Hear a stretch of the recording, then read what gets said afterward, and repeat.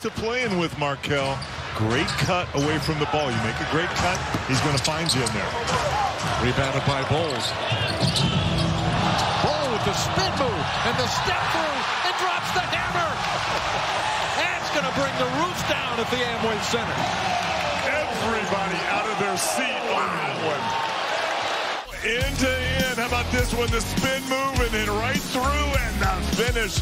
Let's get another look, David. What do you say? Different angle coming right at you.